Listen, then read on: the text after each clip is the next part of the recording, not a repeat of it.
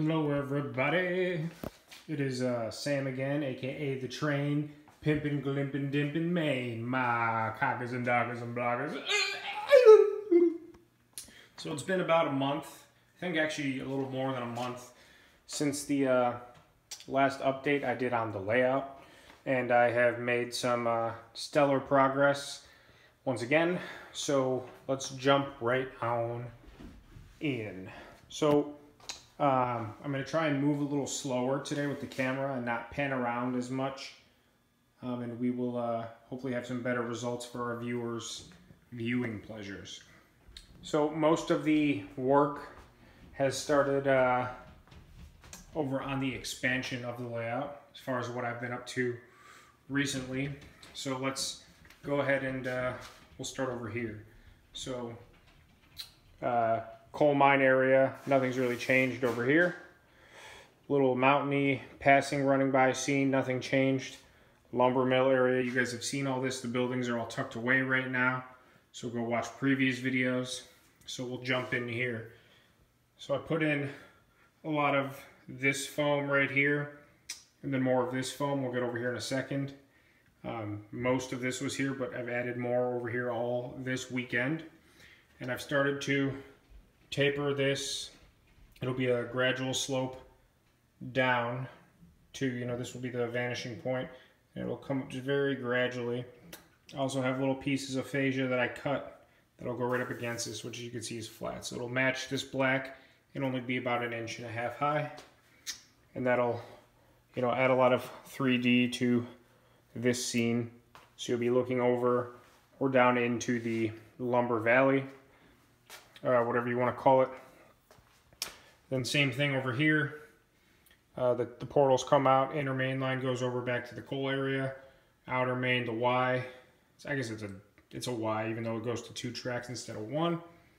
Um, I have glued down track up to here, um, and I actually made my bridge section pieces of track perfectly measured out so they both slot into bridge one and bridge two perfectly.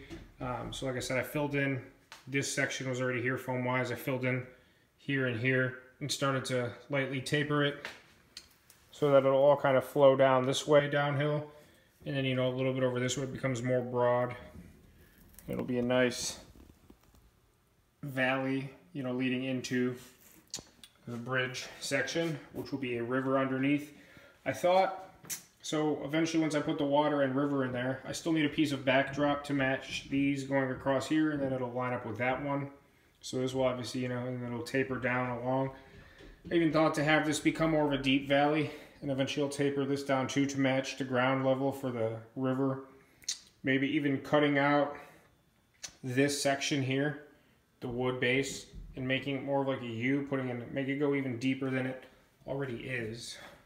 Because if you can see here, I have this whole section. This is the base right now, so I can even almost do a little something like that all the way across. You know, go even further down, make it more pronounced, give it an even more 3D volume effect. Not really sure if I'm going to or not, but so from this angle, a lot of progress. I got a lot of this foam glue down yesterday, did a lot of the initial carving today. And then same thing over here added a few more pieces onto this side, started tapering it down. It's going to be a lot more gradual. And this side, there'll be one side will be steeper than the other, probably here, but it'll be very gradual. Then same thing over here. Um, I know this is very canyon-like right now, but I'm going to have this taper as more of just like a rolling hillside that they kind of disappear in opposite directions. Carve all this down. Same thing over here. It'll be similar to over here just kind of roll a little bit and then into the town scene, which we'll get to. So um, also I will get to this backdrop area in a second. Um, so that's kind of that. So again, I'm trying to move slower with the camera. Um, I don't want to use a tripod and fix it, and I don't really need to sit down and edit these videos and chop up clips. I just want it to be like a diary entry, so to speak. So I'm trying to move slower with the camera work. So moving into the town scene, so this track is all glued down. Everything on this side of the layout has all been glued. The yards, the industries, and it's glued up to here. Like I said, I've made my bridge pieces of track perfect so I could slot them in. And then I've glued down up to here. And then everything from here all the way over the outer main, which comes around the expansion, is glued down to here. It's all glued down. Um, and then I got my little town spur lead all glued down as well. So starting over here, we're gonna have um, some Main Street action going across. Just for reference, these buildings are on here right now because they're not permanent. But we're gonna have the street come in here, go cr double crossing here. There's gonna be buildings, you know, right along this. You'll have to see it with them there. Um, and then also, so it'll come to like a T right here. So it'll go this way and come up here where the road is and go left or right. So you have buildings here. I have a lot of building flats now that will be along the back. So it'll make the scene very 3D. Um, so this first industry right here is a little mill. Take one or two hoppers, glued down, nothing special. You know, have the little parking lot and stuff over here off the road. Put this back over here for context. Then we have the have the little lead for an industry right here. Take a box car or two. I have a few other flats I might flip around, but then we have our long town runaround track. Well, I guess it's just part of the lead, but it has a nice runaround so that all these industries, I might put one more flat industry coming off down this way over here. Um, so the runaround will be nice for shunting cars, bringing in a local or whatever, so to speak.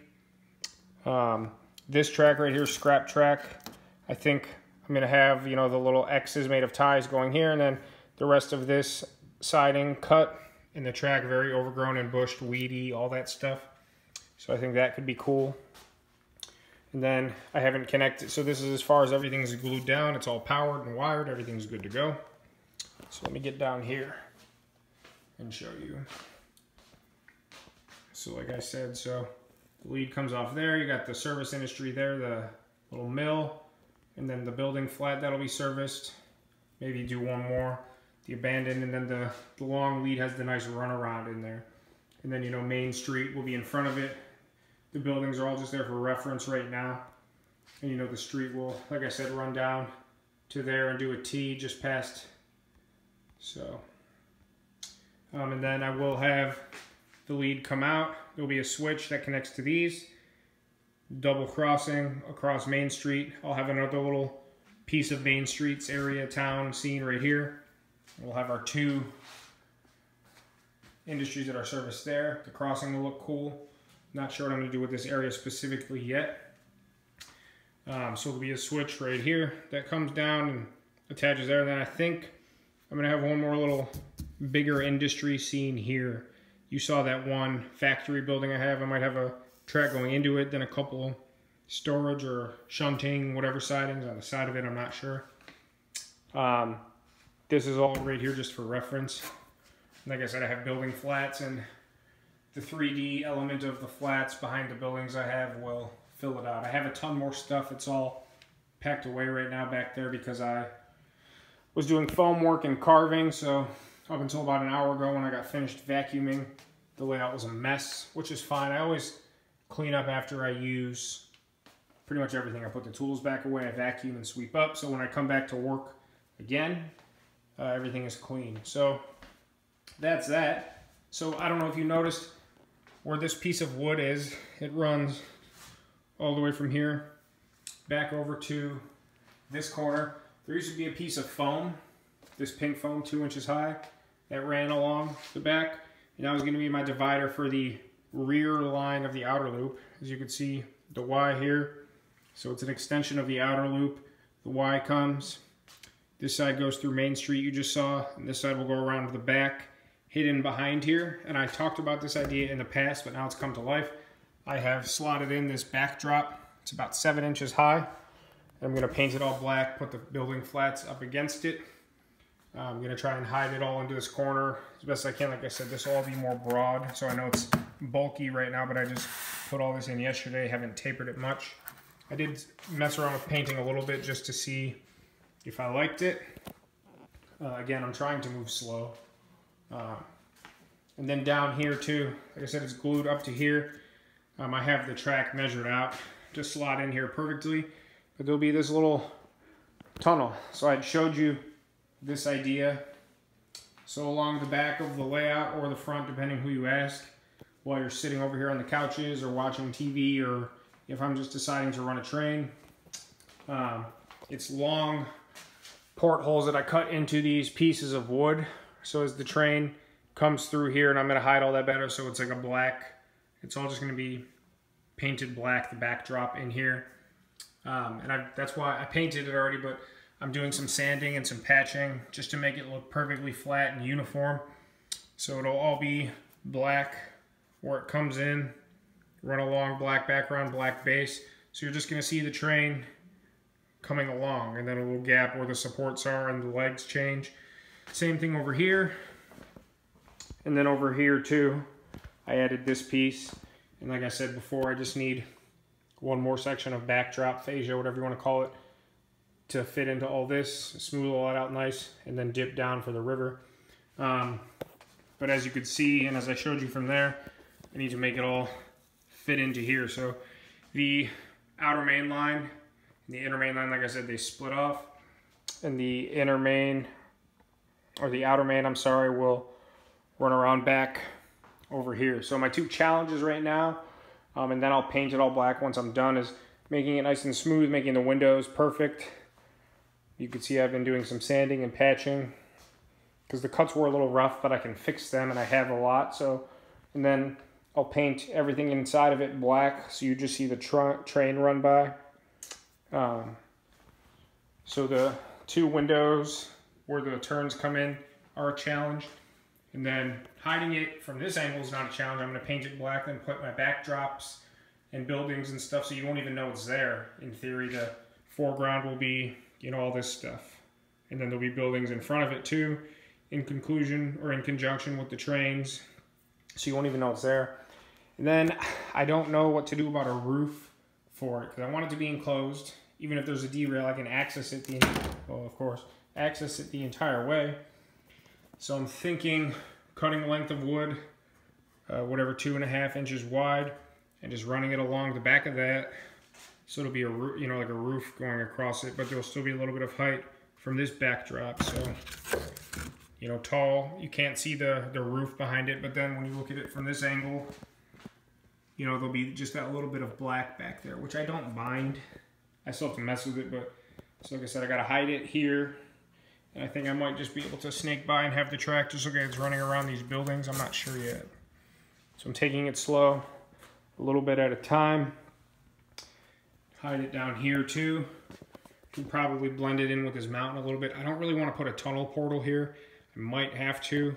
Um, I'm seeing what I can kind of get away with as far as like the little valley area. Like I said, I'm going to taper this down and maybe just have it disappear. I'm not sure. Um, it's two completely separate scenes and ideas, although it all flows into one. So that makes it a bit of a challenge too. But so, you know, the bridge scene has gotten a lot of work done. It's all starting to flow together more. Um, you know, Main Street in the town. Like I said, buildings facing that way, I think they're going to look cool. Um, you know, so that's kind of it. I wanted this video to be under 10 minutes, but we're almost at the 14 minute mark. So so Main Street will be nice and easy. Fill all that in. You know, put some cool stuff. I have a ton of buildings too. One day I'll do a video when I have everything that I'm going to put on it out. You've seen the mine and the wood lumber mill area, but I don't like keeping 200 things on the layout that are not ready to be there permanently because then I got to remove them every time I want to do something. So, um, so I think it's taken shape really well. I had no idea how this idea was going to take shape. I knew in my head I could do it. I'm not a carpenter. I'm a modeler whose skills have progressed and gotten better since day one. Go watch the first video of my first ever layout, 2012 or 13. And I've been uh, modeling and railroading before that, but you're talking 15 years of experience leading up to now. As you can see, I started to paint a little bit and experiment. So this idea was a huge accomplishment for me. I don't believe I've seen anybody else do it. I've seen similar ideas where you can see the train running by, and I do have portholes myself for access for derails along the back of all this here here, here, here, and I need to put one more here potentially, probably not though. So the porthole idea for derails is not a new idea, but as far as I wanted a fascia here because I wanted this to all be enclosed in the horseshoe. So this be the back of the layout from the viewpoint in here. And um, I have my little living room sports watching area over here. I'm sitting there thinking, I don't want to just stare at black plain fascia the whole time. And I also need to have portholes to access in case of derailments because I knew things were going to be hidden back here. So what I originally planned to do was cut little portholes and put tiny hinges so I could like lift the doors up in two or three or four spots along here. And then I decided why not just do this. It popped in my head. I bought the wood. I wasted a couple pieces of wood, trial and error. But I think it's gonna look really cool. So like I said, it'll all be black.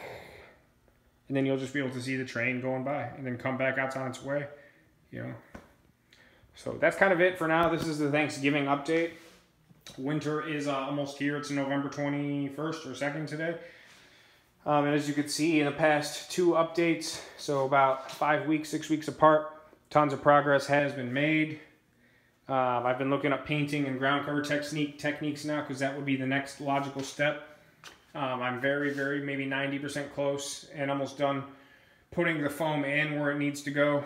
And then I'm going to spend a whole weekend finishing and carving the rest of this because spending an hour carving and vacuuming it up like I did today um, is a pain. I planned not to ever do that again and just finish it all at once, but I wanted to start getting looks of this area so my brain can process how I want to finish them off with the carving before I paint and ground cover. So that's all on the horizon. I'm very happy with how things are turning out. Um, and I guess that's kind of it. Tips or tricks you have for me, Tony Hawk style, let me know. If you like what you see, let me know. If I could do something better, let me know. If you think I'm an idiot, let me know. I don't really mind. I, criticism, good or bad, is only going to help me or anyone, I hope. You don't have to be a dick, but you can tell me what I'm doing right or wrong in your eyes, and I'll consider it. Um, so one good thing about 2020 is that my layout doubled in size, and uh, a lot of cool stuff has come of it. So I know things are still looking rough, but I've said it before. I will say it again and continue to take my time, work as slow as I want. When I get a good idea like this, I don't just start hacking away. I sit on it, uh, make designs.